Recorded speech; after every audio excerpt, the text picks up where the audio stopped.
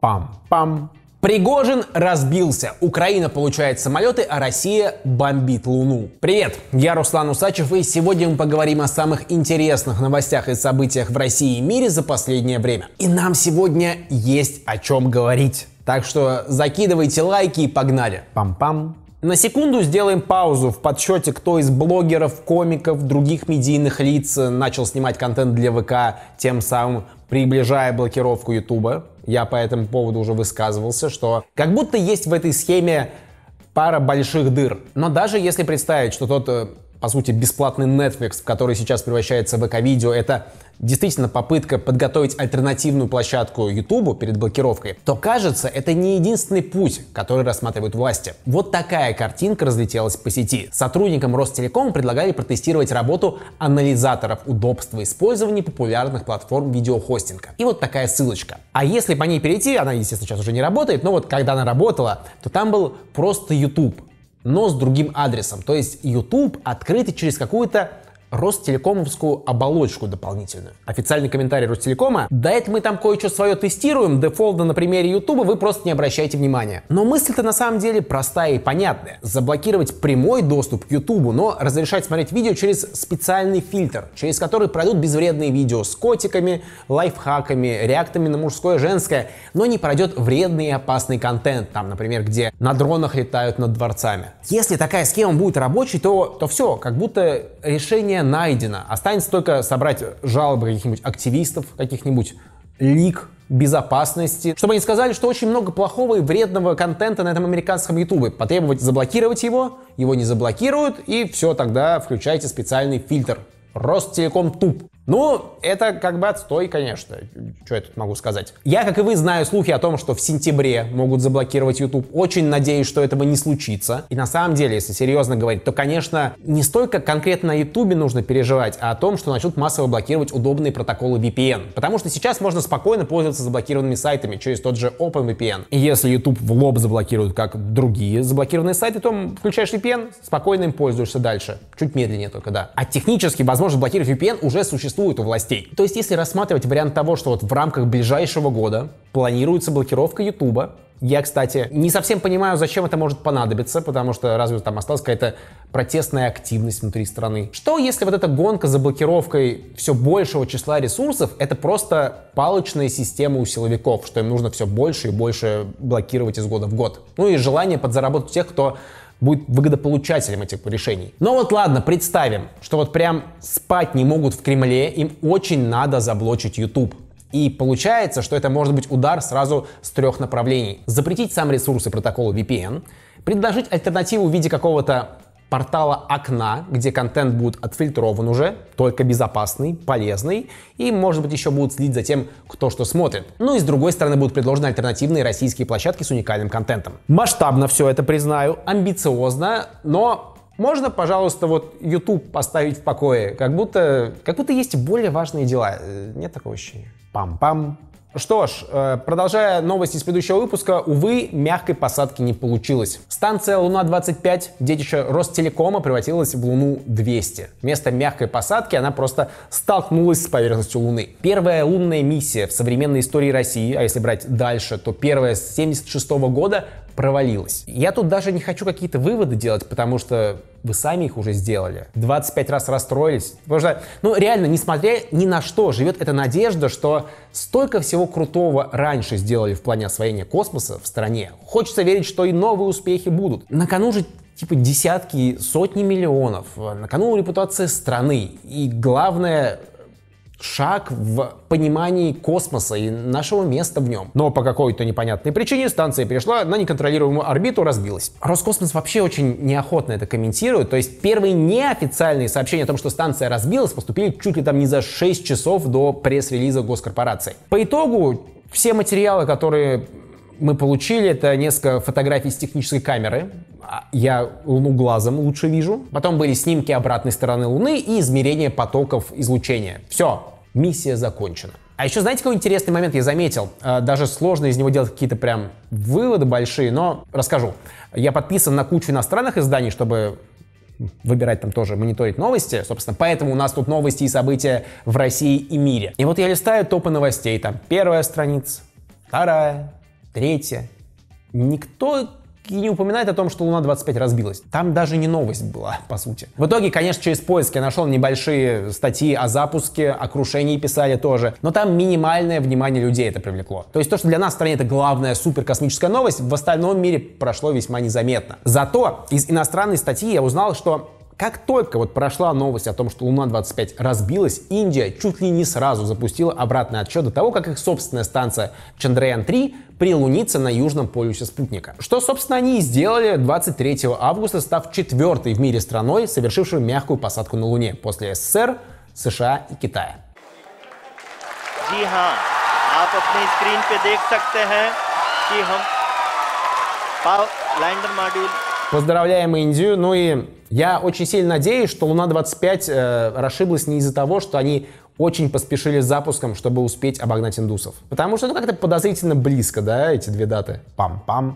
Сейчас будет экстремальный трюк в моем исполнении, для этого даже надо выйти из квартиры. Итак, сейчас у меня в руках появится iPhone.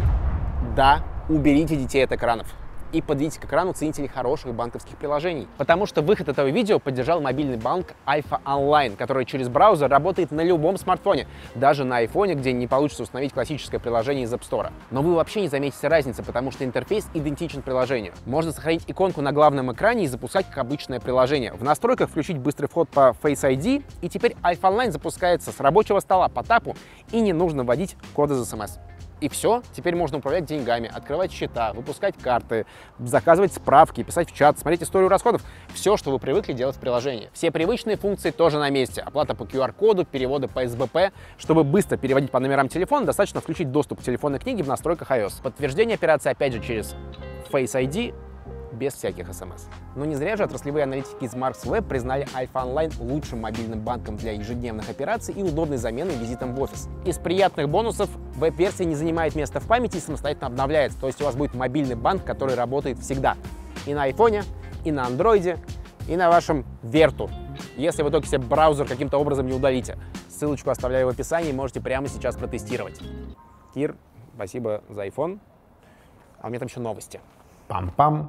Генерал армии Сергей Суровикин освобожден от должности командующего воздушно-космическими силами. По крайней мере, об этом заявляется в СМИ. В самом Минобороне делают вид, что ничего не произошло, на сайте фоточка до сих пор висит, не обращайте внимания. Но вот по инсайдерской информации Суровикин, похоже, пакует чемоданы и уходит на другую работу, какую не уточняется. Все максимально покрыто вот туманом таинственности гостаинственности. Факт у нас таковы. Суровикин не заметен на публике после мятежа ЧВК «Вагнер» в июне. Тогда он вообще-то одним из первых записал обращение к наемникам с призывом остановиться, одуматься. Может быть, вы помните те видео, которые куча разных вообще-то непубличных генералов в ночи записывали в каком-то кабинете там на Лубянке или в другом важном месте. Но уже тогда пошла информация, что Суровикина задержали и допрашивают, что он как минимум знал о том, что планируется такой мятеж и ничего не сделал, а может быть даже он поддержал его с какой-то целью, там, может быть, поддержать под себя управление всей военной кампанией, может быть, даже стать министром обороны. Вообще, может быть, он планировал стать президентом мира, Мисс Вселенная. Мы тут можем бесконечно фантазировать, потому что реальных ответов нам никто не дает, не сообщают нам. Реально, кто мы такие, чтобы знать, какие там перестановки происходят э, в руководящих кругах страны? Всего лишь граждане. Ведь по этикету, который принят э, в текущей системе, все важные решения должны быть такими тихими, максимально многозначными и непрозрачными. Помните, как смещали других скандальных чиновников, типа Рогозина и Мутко? Там как будто никаким образом публичная их популярность, оценка действий со стороны людей не влияла на дальнейшую судьбу. Мутко по итогу из спорта пересел на, наверное, не менее жирное место одного из самых главных строителей в стране. Он руководит структурой Дом РФ. А Рогозин, хер знает, чем он занимается, но отсвечивает в новостях иногда. Но мое любимое это бывший губернатор Питера Полтавченко. У него, по сути, в Википедии биография обрывается в 2018 году. Его тогда сняли с поста, сказали, что он будет там судостроительством заниматься в стране. Все, Человек исчез из инфополя. Кстати, в этом августе его и с этой должности сняли. Возможно, заметили, что его и не существует просто. Ник- никто не ходит на работу. Я думаю, тут сильно связано с тем, что власти очень боятся публичных скандалов. И даже если кто-то очень сильно обосрался, этого не признают. Сразу. Надо всех как-то постепенно глушить и избегать привлечения внимания. Мне кажется, такое молчание властей вводит общественное заблуждение и подрывает вообще доверие к официальным структурам. Ведь в информационном поле, которое пустым оставляется, там быстро появляются все разные слухи, догадки. Но, но тут я могу исходить из э, ложного предположения, что кому-то это доверие вообще важно. Возможно, их куда больше устраивает вариант, чтобы все фантазировали о том, что там натворил Суровикин, где он, что он. Всегда, чтобы оставалась какая-то тайна и непонятка, чтобы были пути к отступлению. Вообще, как бы, с чего вы взяли, что Суровикин жив? Пам-пам.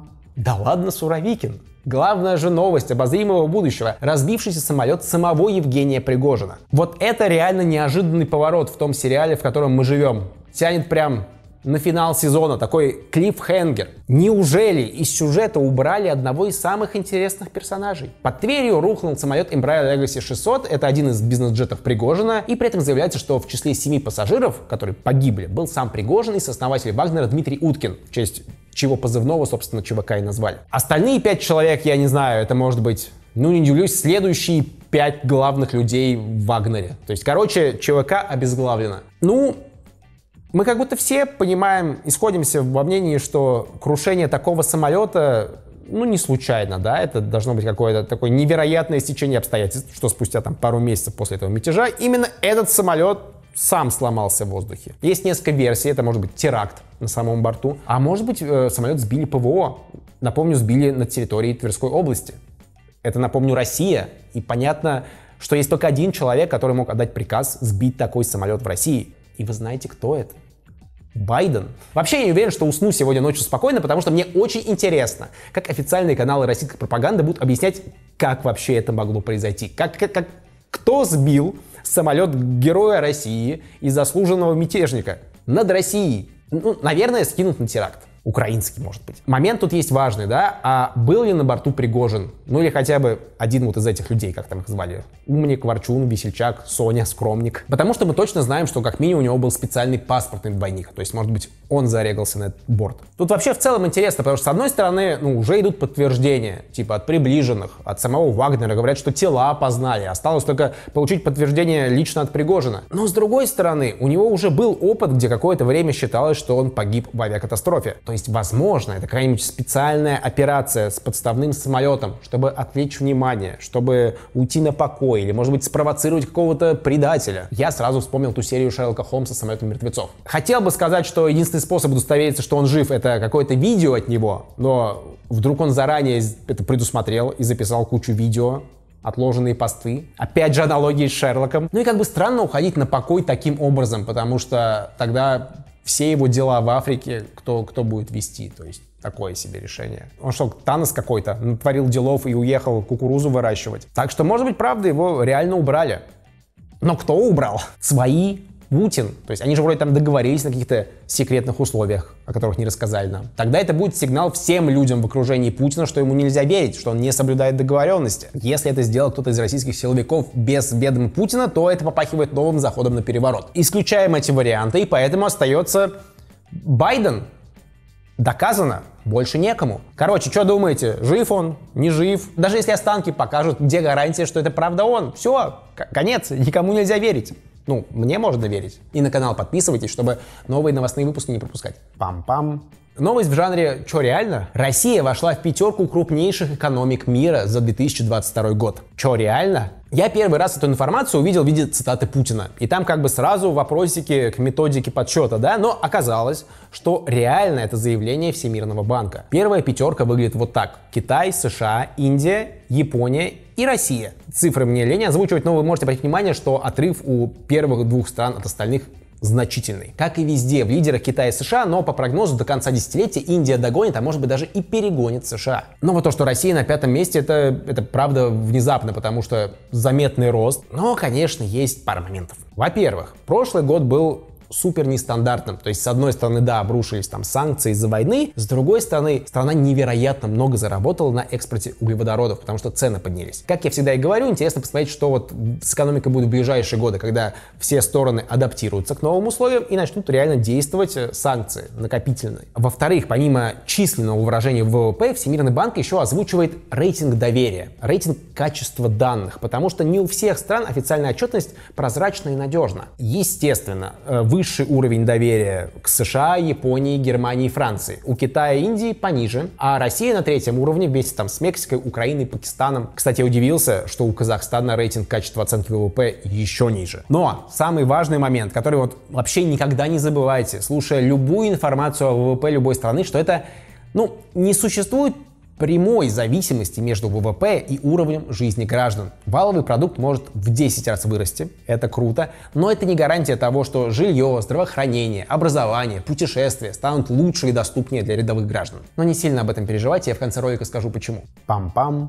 Курс доллара лихорадит. Наш ЦБ и правительство думают, как можно его как-то подуспокоить, хотя бы ниже 100 рублей за доллар держать, чтобы обменники не разорялись на новые табло. Вроде пока получается. Но есть люди, которые лучше справляются с удержанием цен. Это я с Лизой в нашем travel-агентстве «Пора». Мы стараемся держать цены на туры на прежнем уровне. Поэтому успейте уходить в последние места в группы, которые отправляются на сафари в Кению, гулять с жирафами и зебрами, и на Сокотру, чтобы погулять по инопланетным ландшафтам острова. Кения у нас уже в сентябре, а Сокотра будет в ноябре. А вот туры в Иран и Кыргызстан уже распроданы полностью, сори. Если вы хотели туда попасть, но не успели, записывайтесь в лист ожидания, мы с вами свяжемся, как только появятся новые даты. Ссылка в описании. Пам-пам. Нидерланды и Дания первыми решили сделать Украине тот подарок, который давно у нее висел в виш-листе. Истребители F-16. Точное число, которое передадут еще непонятно, но у одних Нидерландов в распоряжении 42 самолета. То есть в теории все могут отдать, если поймут, что будет чем их заменить. Это не означает, что самолеты сразу на фронт попадут. Есть куча дополнительных этапов, включающих, но не ограничивающихся подготовкой летчиков. И сейчас говорят, что скорее всего это случится не раньше 2024 года. Украинские политики действительно давно вели публичную кампанию компанию с призывом предоставить им самолеты, потому что до сих пор Россия, по сути, имеет полный контроль над небом. И тут американские истребители могут сильно изменить расклад сил. Не факт, что озвученного количества хватит, но все понимают, что это только первые шаги, как и с другими видами вооружения. То есть главное, чтобы кто-то первый это начал делать, как бы разблокировал категорию, и дальше оно все легче пойдет. Как минимум сам факт того, что официальные лица вот уже заявляют, э, готовы передавать самолеты, это значит, что США разрешили это сделать. То есть в вооруженном бизнесе это нормальная практика, что если ты продаешь какой-то стране оружие, то также под гарантией того, что потом это завтра на Авито не появится. США, естественно, много кому успели продавать F-16, значит, потенциальная, принципиальная возможность новых передач есть. В любом случае, Зеленский уже сфоткался довольный с улыбкой на фоне самолета вместе с главой правительства Нидерландов. Понятно, радость Зеленского, у него сейчас большая часть работы — это выбивание нового оружия, но Совместная фотография лидеров стран, где они улыбаются на фоне страшнейшего оружия, датский премьер-министр хохочет в кабине самолета, это такой, знаете, конечно, символ времени. Больше даров богу войны. Ну и сам факт того, что вот обсуждается, что самолеты не раньше 24 года будут на фронте, это, это же что значит? Что война продолжается, не расслабляйтесь. Пока одни учат пилотировать F-16, другие учатся их сбивать. В это время Зеленский будет уже вести кампанию по получению следующего вида оружия. И все идет к тому, чтобы просто тактическими ядерными боеголовками фигачили друг в друга. График войны расписан чуть ли не дальше, чем следующие фазы фильмов Марвел. Может это хватит? Пожалуйста. Пам-пам. Российские власти, видимо, тоже закладываются на долгую войну. Ведь как решить проблему с тем, что до небоскребов Москва-Сити чуть ли не каждую ночь долетают теперь украинские беспилотники? Сити это вообще-то и так такой сборище долгостроев, а теперь там как будто вообще все остановилось на одном уровне. Ночью взрывают, днем ремонтируют. К счастью, пока без жертв, но тут, к сожалению, да, это вопрос времени. Рано или поздно это случится при такой регулярности. У нас же единственная система предупреждения жителей, там не тревога какая-то или SMM-оповещение о том, что дрон летит, возможно, с бомбой. Единственный способ понять, что на Москву летит очередной дрон, это закрытие аэропортов. Сделайте, пожалуйста, такой телеграм-бота, который высылает оповещение о том, что Внуково останавливает полеты. Это вот лучшее предупреждение о дронах будет. Но я отвлекся, да, значит, власти играют в долгую. Поэтому с 1 сентября школьников будут учить обращаться с дронами на курсах начальной военной подготовки. В программе предусмотрено изучение видов предназначения, тактико-технических характеристик и общего устройства, ведение разведки местности и способы противодействия БПЛА противника. Вот такие у нас теперь основы безопасности жизнедеятельности. Учим детей сбивать дронов, Хотя я не знаю, чем они могут им противодействовать. Типа всем выдадут эти антидронные пушки, что ли? Или мы будем тренировать FPV летчиков камикадзе? Я сначала хотел добавить, что, может быть, побочным продуктом такой системы образования будет то, что у нас будет много хороших операторов дронов, которые пойдут работать в разные видеопродакшены, но ведь нет. Детям, конечно, объяснят, как управлять дроном, наверное. Но ведь все равно у нас чуть ли не по всей стране полный запрет на гражданские полеты на дронах. Я вот сейчас планирую съемки тревела по России, я я не знаю, как быть. Захотел ты красивый пролетик над рекой снять или вокруг церквушки, все, будь готов, что за тобой едет наряд. Пам-пам. Вот вы, наверное, думали, что в новой экономической ситуации со всеми ее санкциями, закрытыми границами нам станет как-то внутри России менее комфортно жить, да? Но ведь наоборот, комфорта стало больше. Ровно в два раза. По крайней мере, в мире авиакомпании «Аэрофлот» и авиакомпании «Россия», которые удвоили число мест класса «Комфорт» э, в части своих самолетов, конкретно вот в этих двух моделях. Причем с минимальными вложениями. Они вообще на самом деле ничего не меняли. Вот бывает, что у крыла самолета два ряда рядом с аварийным выходом, да, то есть там больше расстояния между рядами, чтобы можно было в случае эвакуации проходить людям. Но раньше в самолетах комфортом считался только второй ряд этих сидений, потому что у первого не откидывались э, спинки, опять же, ну, чтобы не мешать людям проходить. На втором ряду при этом был полный кайф, полный комфорт. Места для ног больше, своя спинка откидывается, у человека перед тобой не откидывается, потому что он лох. Но в компании решили, что главное это больше места для ног, и теперь оба ряда считаются удобными, одинаково комфортными. Поэтому больше комфорта при том же комфорте. Естественно, эти места платные, ну и либо они там статусникам отдаются программа лояльности. Видно, конечно, как компания прям выдумывает, как какие-то разные приколы, чтобы хоть как-то компенсировать сокращение прибыли. Они там месяц назад запустили лежачие места в экономе. Когда ты целый ряд выкупаешь, бонусом получаешь подушечку. Следующий шаг — это бизнес-классы назвать первым классом, потому что там тебе стюардесса объясняет, как складывать и вычитать. Пам-пам. Че, следите за моими страданиями в крысиных бегах на Криклаке. Завтра, 25 числа, финал будет, куда я прошел с Сашей Продеичем, Жекичем. Будем биться за 6 миллионов рублей. Во-первых, это мы ждем. Во-вторых, это мы смотрим. В-третьих, это мы болеем и поддерживаем. Я видел куски чернового монтажа. Без спойлеров, гарантирую, понервничайте. А из-за того, что это впервые за долгое время шоу, где я не в роли ведущего, а в роли игрока, у меня куча впечатлений. Я хочу записать отдельное видео про свой опыт и свои переживания. Ну и не буду лукавить, чтобы зрителей шоу к себе заманить на канал потом рассказывать самые интересные новости и события. Так вот, если вам интересны какие-то конкретные моменты того, как я участвовал, то пишите их в комментариях, вопросы задавайте. Я точно знаю, что сам хочу рассказать, но вдруг есть какие-то темы, которые большому числу из вас интересны, так что спрашивайте, только смотрите, чтобы в комментарии была фраза, словосочетание «крысиные бега», чтобы я потом мог быстро отфильтровать все вопросы поиском. Пам-пам. Кажется, подходят к концу сроки договоров и аренды у большого числа иностранных компаний. Никакие специальные операции не заканчиваются, санкции не снимаются, а значит и надежда вернуться на рынке гаснет с каждым днем. Теперь Россия останется без пиццы Доминос, которая работала в стране аж 98 года. В пике имела 170 точек. Компания DP Евразия, владелец мастер франшизы Domino's Pizza в России и ряде соседних стран, готовит свои чемоданы. Они освобождают площади, они э, собирают нарезанный пепперони, сворачивают сырные борты. Я не знаю, были ли у них сырные борты, потому что я последний раз Домина съел типа лет 6 назад, если не больше. Их объяснение стандартные, сложные экономические условия, накладывающиеся на политические факторы. Они пытаясь там кому-то продаться, не нашли покупателей с достаточным аппетитом, поэтому подали на банкротство. Домино есть нюанс. Как только заявили о запуске банкротства, сразу появился возможный покупатель.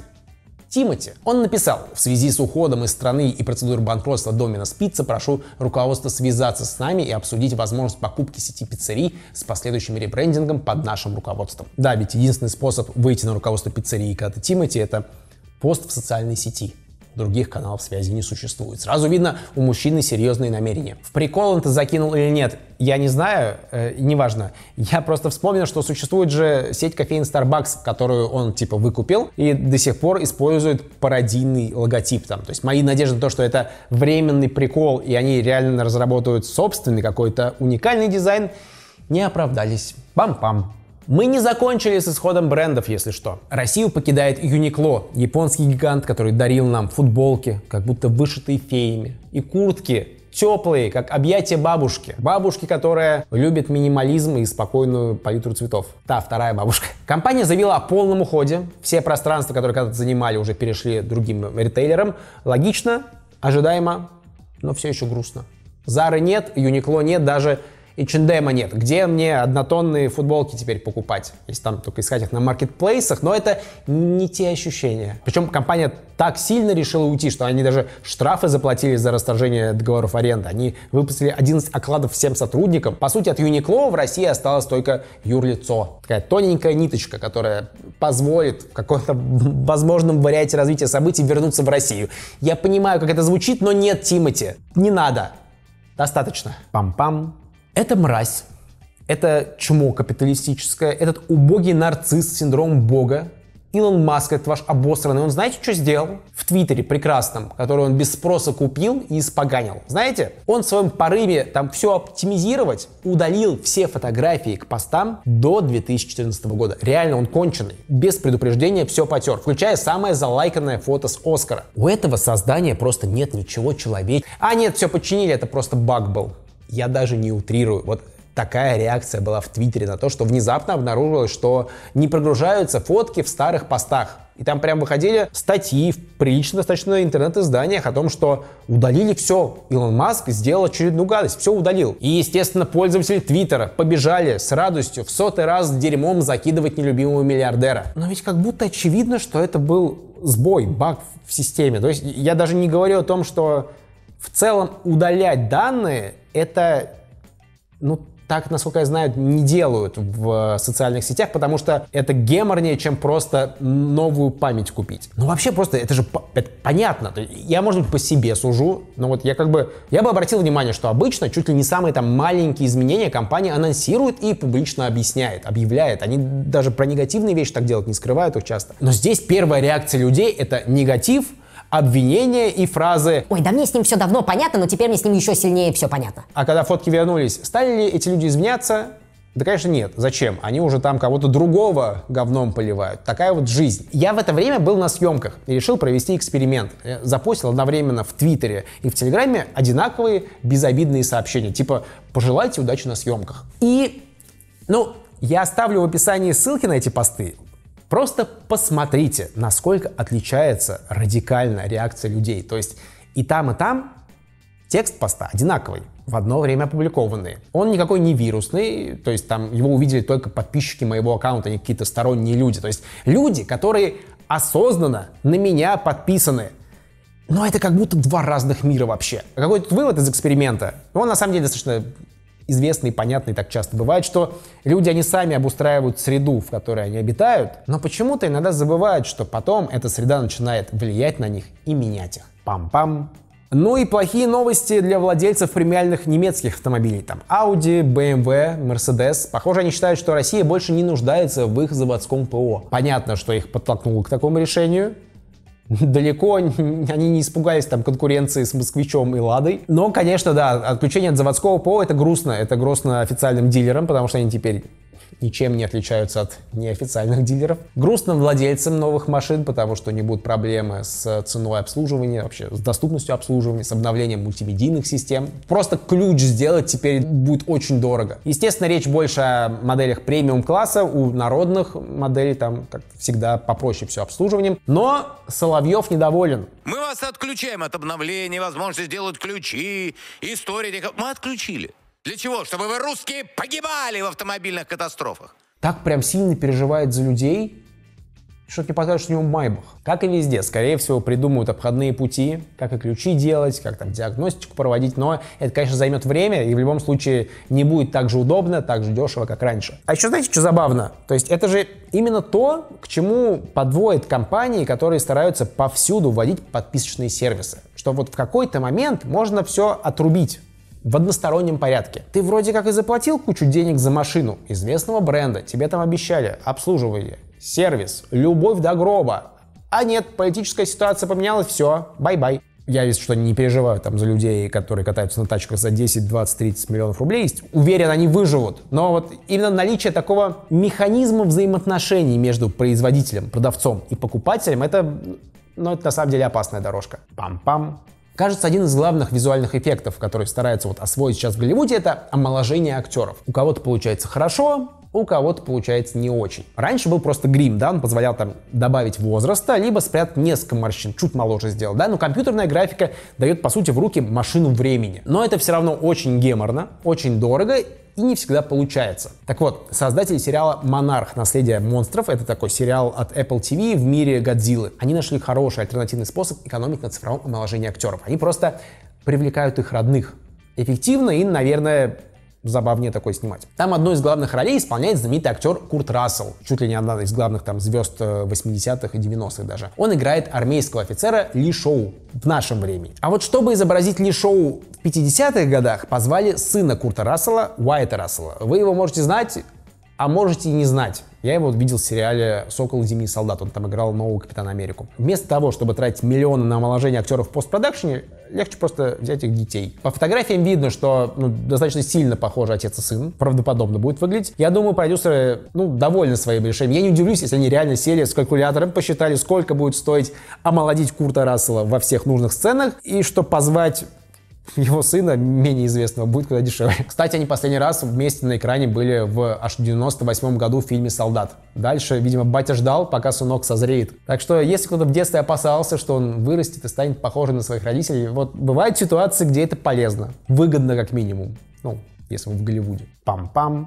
Следующая новость, она скорее из разряда слухов, но кто мне запретит? Правильно? Вот помните эти эмоции, когда вы смотрели последний полнометражный фильм о Человеке-пауке, и на экране появились они, Тоби Магуайр и Эндрю Гарфилд. Это был настоящий праздник для фанатов. Так вот, Согласно информации издания Marvel Updates, продюсеры не собираются останавливаться на достигнутом. Доить фан-сервис и ностальгию будет дальше. В предстоящем фильме «Мадам Паутина», в которой главную роль исполнит Дакота Джонсон, опять ожидается камео вот этих двух ретро-Питеров Паркеров. Вроде пойдут по бюджетной схеме, будут там архивные кадры использовать, но тем не менее вот такое присутствие их, естественно, даст какой-то дополнительный колорит картине. Как говорится, шутка, повторенная дважды, принесет в два раза больше денег.